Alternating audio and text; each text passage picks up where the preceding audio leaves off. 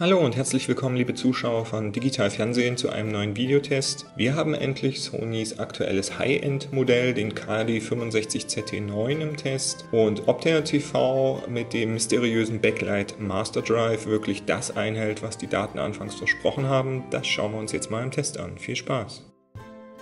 Der Fernseher wird nicht nur edel verpackt, sondern er sieht auch edel aus. Die äh, meisten Blenden, die ihr hier seht, sind aus Metall. Es ist natürlich nur eine Goldoptik, kein Echtgold. Die flache Bauform, der schmale Rahmen und die klaren Linien unterstreichen die schnörkellose Struktur, die Sony hier anstrebt. Und für einen Direct LED LCD, also mit einer echten LED-Hintergrundbeleuchtung, ist der TV nicht nur verhältnismäßig flach geraten, sondern es stören auch keine Lüftergeräusche.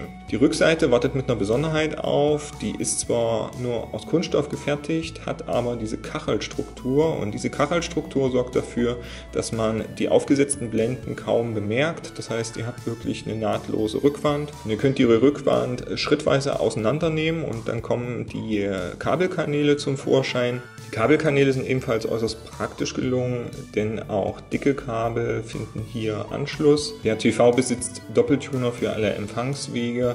Ihr habt vier HDMI-Schnittstellen, von denen weisen zwei Schnittstellen eine Besonderheit auf, dazu später mehr. Den CE Plus Slot findet ihr weiter oben und falls ihr doch mal in Verlegenheit kommt, ein SCART-Kabel anzuschließen, könnt ihr extra die Blende heraustrennen, während der Rest der Rückseite dann weiterhin verdeckt ist. Beim Kontrastfilter gibt es keinerlei Überraschung. Der TV spiegelt leicht. Im Gegensatz zu einem Curved TV sind Spiegelungen aber nicht verzerrt.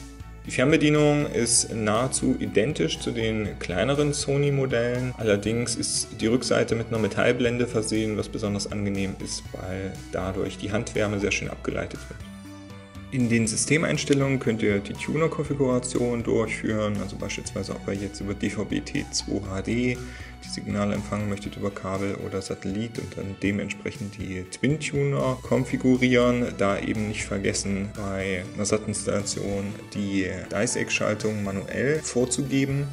Prinzipiell beherrscht der TV die Senderaufzeichnung über USB, aber bei unserem Modell war es leider so, dass der Datenträger zwar erkannt wurde und wir konnten auch die Registrierung und die Formatierung starten, aber es kam dann immer nur der Hinweis, diese Funktion steht zurzeit nicht zur Verfügung.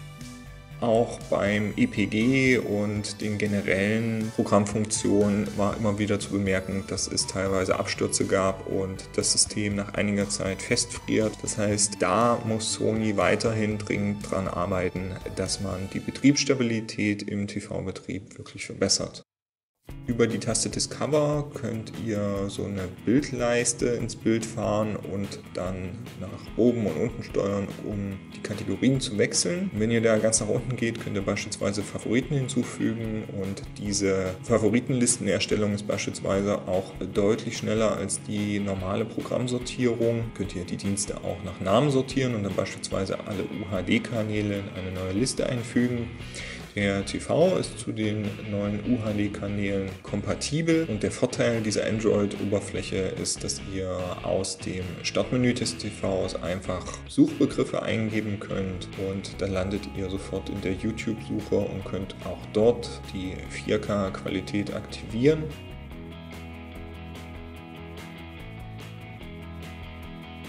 Alternativ könnt ihr Suchbegriffe auch über das Mikrofon einsprechen und die Spracherkennung ist wirklich exzellent.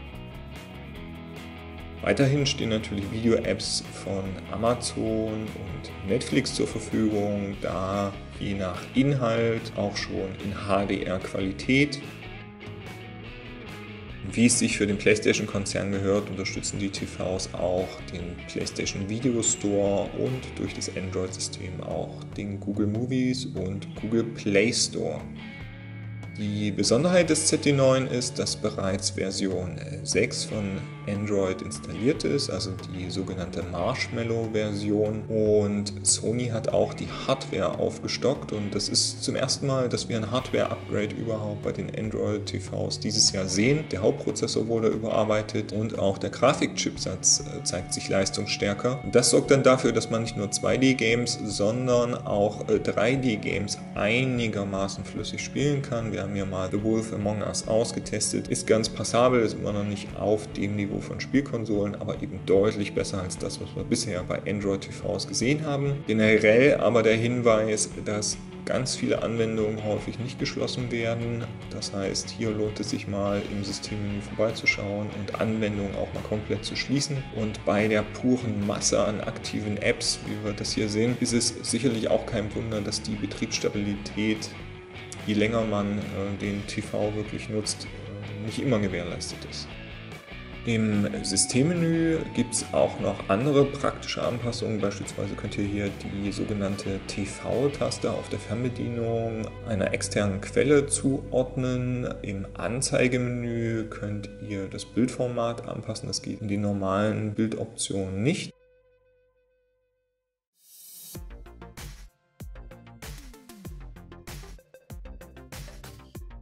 Und in den Klangeinstellungen lassen sich die Systemtöne ausschalten, die halt bei Betriebsstart dafür sorgen, dass jede Eingabe mit einem Ton unterlegt wird. Bei den externen Eingängen ist darauf zu achten, dass ihr UHD Blu-ray Player erst dann vernünftig verwenden könnt, wenn ihr auf das optimierte Format schaltet. Hier gibt es aber eine Besonderheit, wenn ihr beispielsweise den HDMI 1 Eingang wählt, dann habt ihr hier ein 4K-Signal, aber ihr seht hier schon, es ist nicht HDR, sondern SDR.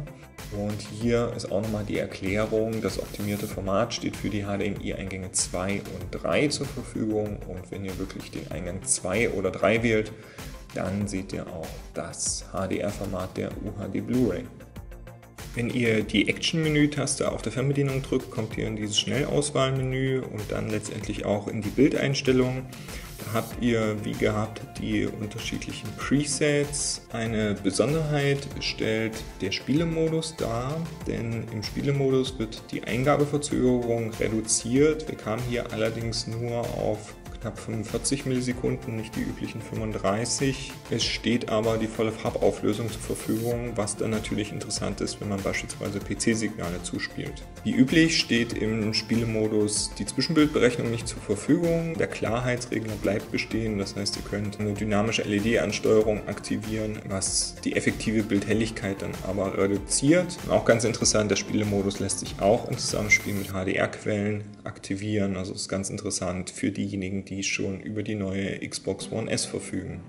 Wenn ihr das Bild möglichst neutral darstellen möchtet, lohnt sich der Anwendermodus. Bei der Helligkeit steuert ihr manuell die Helligkeit des Backlights. Das ist tatsächlich ein Hintergrundbeleuchtungsregler. Ich kann euch aber raten, das auf maximale Einstellung zu belassen. Warum, das erkläre ich euch gleich. Über den Lichtsensor steuert der TV die Helligkeit automatisch, sorgt aber für eine verhältnismäßig starke Abdunklung. Den Kontrastregler äh, würde ich nicht aufs Maximum ziehen, da mehrere Kontrastoptimierungen hinzugeschaltet werden können, sodass Kontrast 90 eigentlich eine gute Voreinstellung ist. Bei der Gamma wieder mal die Kritik, dass man hier relativ im Unklaren ist, was für eine Gamma der TV dann effektiv zeigt. Im Minusbereich geht man halt Richtung 2.4, 2.6, im Plusbereich Richtung 2.0, Durch die Kontrastoptimierung lohnt es sich, den Gamma-Regler ein bisschen niedriger anzusetzen kann euch hier im Wert von minus 2 empfehlen. Beim Schwarzwert ist das gemeint, was bei anderen TVs häufig als Helligkeitsregler beschrieben wird. Also hier pegelt ihr die dunklen Bereiche aus. Schwarzabgleich sollte man eher die Finger davon lassen. Der erweiterte Kontrastverstärker greift ebenfalls ins Bildsignal ein. Kann man machen, wenn das Bildsignal nicht optimal ist. Ansonsten kann man das ausgeschaltet lassen. Interessant ist die lokale Dimmung denn im ZD9 ist eine echte LED-Hintergrundbeleuchtung verbaut und ihr seht es hier in einem Beispiel, wenn ihr das lokale Dimming aktiviert, werden die Zonen immer feiner angesprochen. Bereits ab mittlerer Einstellung wird das Backlight voll ausgereizt. Wenn ihr das in die Hocheinstellung setzt, wird das Eingangssignal stärker bearbeitet. Das hat zwar den Vorteil, dass noch ein bisschen mehr Kontrast herausgepresst wird aus dem Bild, hat aber wiederum den Nachteil, dass man in hellen Bereichen dann einen leichten Detailverlust hat. Das haben wir hier mal versucht darzustellen. Also wenn ihr wirklich alle Details behalten wollt, dann stellt das Local Dimming eher auf die Stufe Mittel Unter Extended Dynamic Range versteht Sony so eine Art HDR-Konvertierung, die sorgt dafür, dass die Bildhelligkeit stark ansteigt, ohne dass Details verloren gehen. Falls das hier jetzt im Videobild ein bisschen so erscheint, dass äh, Details ausbrennen, dann liegt das einfach daran, dass unsere Kamera das nicht korrekt einfangen konnte. Und je nachdem, ob das Bild vollflächig hell ist oder nur kleine leuchtende Details im Bild existieren, erhöht sich dadurch dann auch der effektive Kontrast im Bild. Ich persönlich halte die Extended Dynamic Range Funktion wirklich für sehr, sehr gut. Allerdings ist mir die flächige Aufhellung teilweise ein bisschen zu stark. Das heißt, Beispielsweise bei Samsungs HDR Plus Funktion wird eher die Detailhelligkeit erhöht, bei Sony eben auch verstärkt die Flächenhelligkeit. Beides kann man halt mögen, je nach Einsatzzweck. Eine Besonderheit stellt die Helligkeitsanpassung dar in Zusammenspiel mit HDR-Quellen. Da lohnt es sich nicht nur Extended Dynamic Range zu aktivieren, sondern ihr solltet ebenfalls den Farbbrillanzregler mal ausprobieren. Und zwar gibt es einen enormen Unterschied, ob der Farbbrillanzregler ausgeschaltet ist oder in der Hocheinstellung genutzt wird. Mit Extended Dynamic Range ist der Unterschied gar nicht so groß, aber wenn ihr dann noch zusätzlich den Farbbrillanzregler nutzt, dann wird die HDR-Helligkeit stark erhöht. Und das Interessante ist, dass in solchen Szenen vor allem Lichtquellen in der Intensität erhöht werden. Also hier ist es jetzt die Sonne, die im Hintergrund scheint. Aber wenn ihr vollflächig dunklere Bilder habt, die extrem problematisch sind, wenn man den Raum nicht komplett abdunkelt, dann hilft diese Schaltung, diese Stellen aufzuhellen. Und das macht den TV wirklich universell einsetzbar, auch im Zusammenspiel mit HDR-Quellen.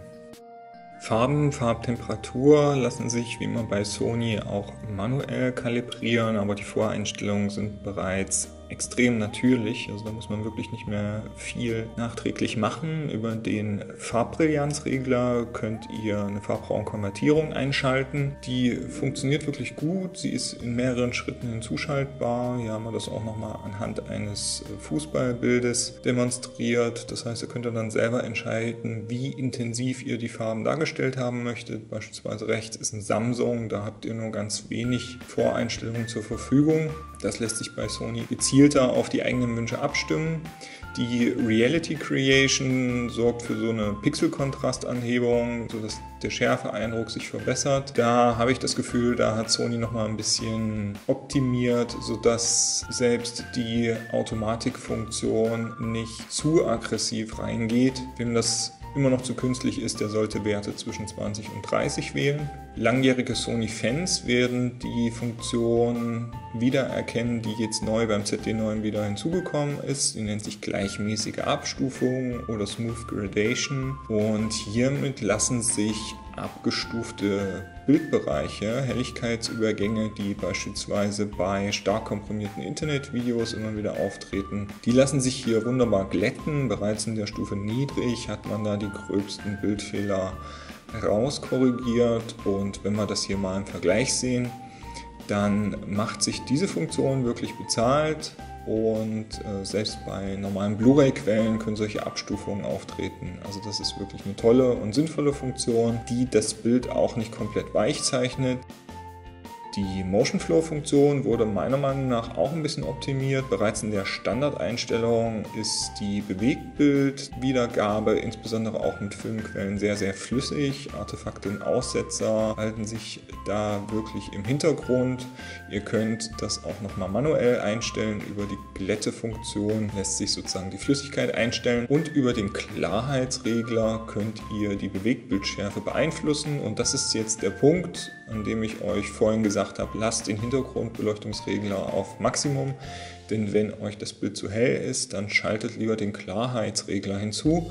Ich habe euch das hier mal aufgelistet, je nachdem, welche Stufe ihr wählt. Die Bildhelligkeit mit Ausnahme von Stufe 1 zu Stufe 2 wird praktisch immer halbiert und ihr profitiert dann von einer schärferen Bewegtbilddarstellung. Beim Samsung rechts lässt sich das über den Hintergrundbeleuchtungsregler steuern. Und wenn wir das hier mal im Vergleich sehen, dann bietet sowohl der ZD9 als auch der KS9590 von Samsung bei voller Backlight-Aussteuerung bereits eine gute 100 Hertz Bewegtbildschärfe. Und sobald ihr das auf Klarheit 1 oder bei Samsung den Backlight-Regler auf 50% reduziert, dann steigt die Bewegtbildschärfe fast schon auf ein 200 Hertz Niveau. Man opfert natürlich verhältnismäßig viel Helligkeit. Sony und äh, Panasonic verwenden wiederum ähnliche LCD-Panel, aber es ist offensichtlich, dass Sony die Optimierung besser im Griff hat, denn Nachzieheffekte in dunklen Bereichen zeigen sich bei Panasonic deutlich stärker als bei Sony. Gegen den KS 9590 ist dieses Jahr aber kein Kraut gewachsen. Der bleibt bei solchen Sequenzen unser Favorit und Nachzieheffekte hat Samsung da wirklich auf ein absolutes Minimum reduziert. Der ZD9 zeigt in ganz, ganz dunklen Bereichen leichte Nachzieheffekte, die wird man im Normalfall nicht sehen. Nicht vergessen solltet ihr die Filmmodus-Einstellung, je nachdem was ihr hier vorgebt, entscheidet sich dann, ob Filmbilder wirklich komplett flüssig laufen oder eher im Kinolook erscheinen. Sony bietet dann noch in den Videooptionen zahlreiche Optimierungen, um beispielsweise den Farbraum manuell umzuschalten. Davon solltet ihr eher die Finger lassen und dann lieber den Farbbrillanzregler nutzen. Dem Fernseher liegen zwei Shutterbrillen bei. Der ZT9 ist zu 3D-Signalen kompatibel, der KS9590 von Samsung beispielsweise nicht. Die Auflösung ist im 3D-Modus ganz in Ordnung. Allerdings sind Doppelkonturen in dunklen Bildbereichen sichtbar und die Bildhelligkeit wird auf ein extremes Minimum reduziert. Die 3D-Funktion beim ZT9 hätte man genauso gut weglassen können. Wer wirklich 3D-Signale in guter Qualität darstellen will, kommt um ein OLED-TV mit Polfilter 3D nicht herum. Ein kleiner Kritikpunkt ist auch die Tonwiedergabe. Der Fernseher hat zwar die Decoder für Dolby Digital und DTS integriert, aber die Tonqualität der integrierten Lautsprecher ist auch angesichts des Preispunktes enttäuschend. Bei den Messwerten müssen wir Sony dagegen uneingeschränkt loben. Es gibt eigentlich kaum einen Hersteller, der bereits in den Werkseinstellungen derart präzise Werte ermöglicht. Das heißt, hier haben wir wirklich nichts verändert in den Voreinstellungen und dennoch sind sämtliche Abweichungen an der Grenze zur Sichtbarkeit. Wenn wir uns das Leistungsmaximum des TVs anschauen, dann sind zwei Dinge auffällig. Zum einen ist die Bildhelligkeit exorbitant hoch. Das heißt, ihr erreicht hier im farbkalibrierten Modus locker 1600, 1650 Nits. Wenn man den ZD9 in den Dynamikmodus schaltet, dann erreicht man sogar Werte von bis zu 2000 Nits. Es ist auf alle Fälle der hellste TV, den wir jemals im Testlabor hatten. Der Farbumfang ist dagegen nicht so enorm, wie man es vielleicht hätte annehmen können. Da sollte man aber die Farben im Einzelnen betrachten. Das heißt, man hat einen Blaubereich, die Kinonormsättigung, Magenta-Bereich und nahezu im Rotbereich ebenfalls. Daraus resultiert dann auch ein sehr satter Gelbbereich, wo der TV gewisse Limits zeigt. Das ist im Grünbereich und damit dann auch im Türkisbereich. Das heißt, da gibt es einfach andere Fernseher, die haben knalligere Grün- und knalligere Türkistöne. Aber insgesamt ist auch hier die Farbabstimmung extrem natürlich gelungen. Und was wir nicht erwartet hätten, was man aber sehr gut sieht, wenn man äh, den XD93 mal dagegen hält. Man hat hier noch im Rotbereich diesen Peak beim XD93. Der DXW 904 von Panasonic zeigt dieses Phänomen ebenfalls und das sorgt dann dafür, dass es Farbblitzer geben kann. Beim XD93 hatte man dann eher bläuliche Doppelkonturen.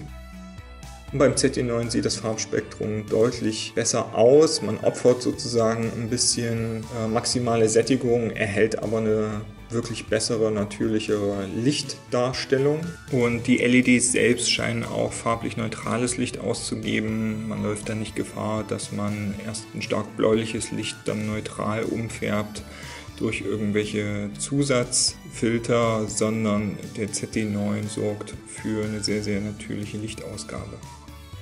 Doch was ist jetzt eigentlich mit dem Backlight Master Drive? Wir haben hier mal einen Samsung KS9590 und da wandert jetzt so ein Feld durch Und äh, durch die Aufhellung im Bild könnt ihr gut erkennen, wie die Dimming-Zonen angeordnet sind. Wir kommen hier auf 15 mal 10 Zonen und der Halo-Effekt ist ziemlich prägnant.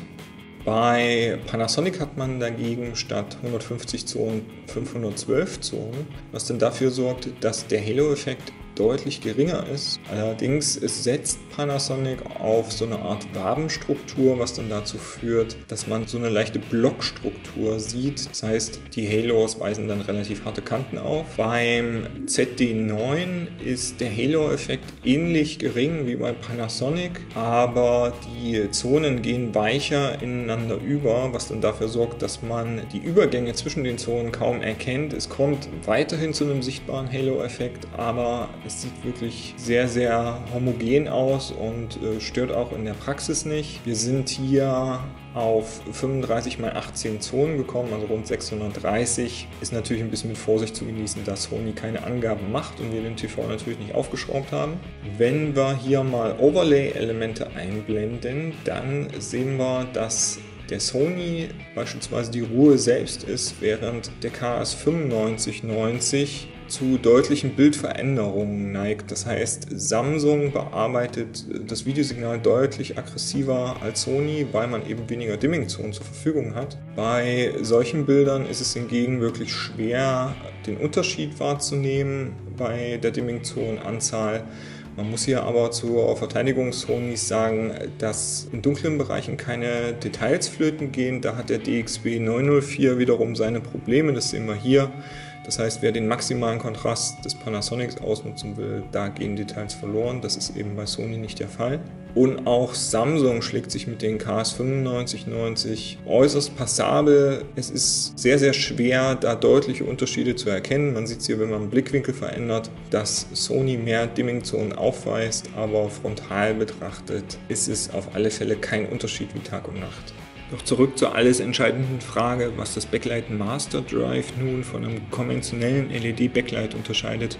Wir haben hier nochmal die Infografik äh, von Sony auf dem ZD9-Event und auf der linken Seite ist jetzt ziemlich eindeutig, was Sony damals mit dieser schematischen Darstellung gemeint hat. Es wird sich höchstwahrscheinlich um das Direct LED Backlight des KS 9590 handeln. Das heißt, wir haben 150 Dimming-Zonen. Jeder Block besteht dabei aus vier LEDs. Somit könnte das Backlight des KS 9590 ebenfalls rund 600 LEDs aufweisen. Das Backlight Master Drive rechts steuert dagegen jede LED einzeln an. Sony spricht dann zwar nicht mehr von Dimming-Zonen, aber letztendlich sind die Dimming-Zonen nur minimiert eben auf den Ausleuchtungsbereich einer einzelnen LED. Und die zweite Besonderheit ist, dass die LED-Reihe Reihen versetzt angeordnet sind. Wir schauen uns jetzt mal die rechte untere Ecke des TVs an und achtet mal bei dem Schemata darauf, dass im Eckbereich gar keine LED existiert. Ihr habt äh, eine LED an der Unterkante, eine LED an der rechten Kante, aber im Eckbereich habt ihr keine. Wenn wir jetzt mal ein ganz kleines Feld, beispielsweise beim CAS 9590,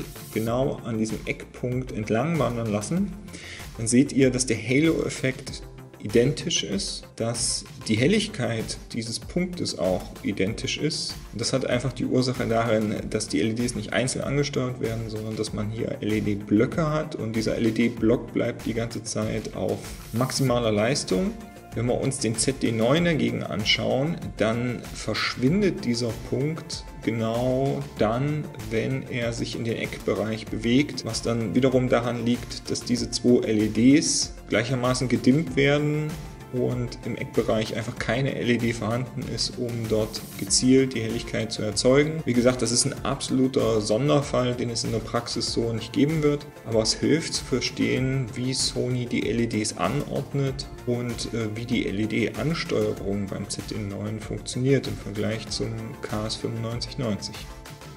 Ein Vorteil von Sony ist weiterhin das Upscaling, das heißt, da besteht weiterhin der Vorteil im Vergleich zu Samsung, wo das Upscaling zwar subjektiv mit einer sehr hohen Kantenschärfe funktioniert, aber im Detailbereich eben nicht ganz mit Sony Schritt halten kann. Bei der Bildausleuchtung ist zu sagen, dass sowohl bei Samsung als auch bei Sony mit Schatteneffekten zu rechnen ist. Bei Samsung mehr als bei Sony. Allerdings gibt es in hellen Bereichen eben das Phänomen, dass die Eckbereiche des ZD9 nicht so gut ausgeleuchtet sind. Das habe ich euch eben versucht klarzumachen. Das liegt einfach an der LED-Anordnung des Backlights. Und wir hatten beim ZD9 leider den Fall, dass es genau mittig eine Schattenbildung gab, was man im Praxisbetrieb dann doch sehen konnte. Am besten gefällt uns immer noch die Ausleuchtung des DXW904, auch der ist nicht fehlerfrei aber da ist die Helligkeitsverteilung insgesamt noch am homogensten. Der generelle Benchmark im LED-LCD-Bereich ist für uns aber immer noch der X9405C, also der 75 Zoll Koloss aus dem letzten Jahr. Der hatte wirklich eine sehr, sehr homogene Lichtverteilung.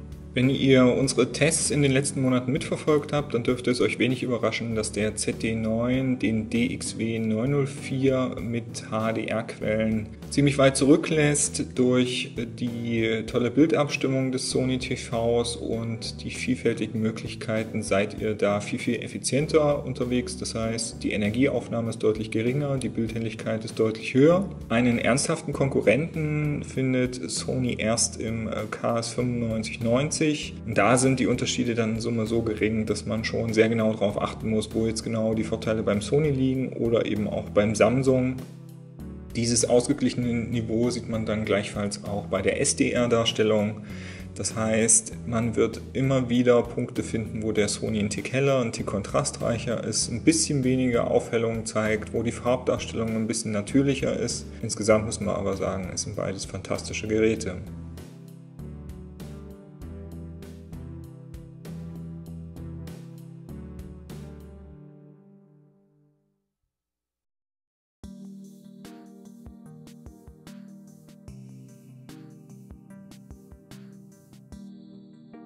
Und auch wenn der ZD9 nicht das offizielle UHD Premium Logo trägt, so bekommt er von uns doch das UHD HDR Quality Siegel, denn weder bei SDR noch bei HDR dürften da Wünsche offen bleiben. Kommen wir nun zum Testfazit. Wenn es allein um die Bilddarstellung geht, dann ist Sonys ZD9 die neue LED-LCD-Referenz.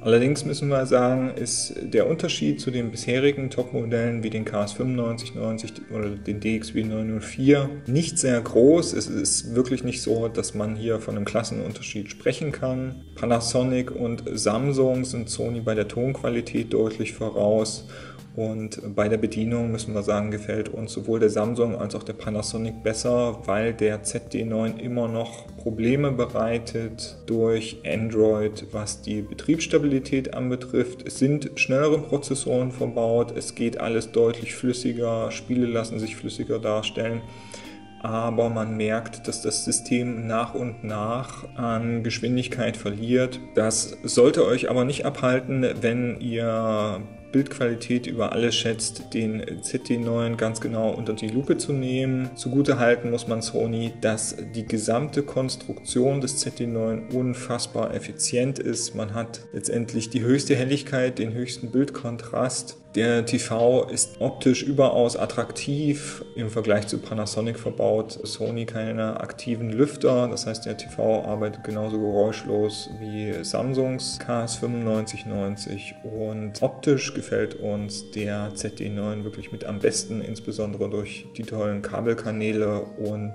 die clevere Abdeckung. Es ist vielleicht der speziellste High-End TV im Vergleich zu den anderen Geräten, aber wenn man Filmfan ist, wird man die Vorteile, die der Sony ZT9 bietet, auf alle Fälle zu schätzen lernen. Ich hoffe, unser umfangreicher Testeinblick in den ZT9 konnte euch ein bisschen weiterhelfen. Falls ihr den TV schon besitzt, wünsche ich euch viel Spaß mit dem Gerät. Mir hat das Testen unglaublich viel Spaß gemacht.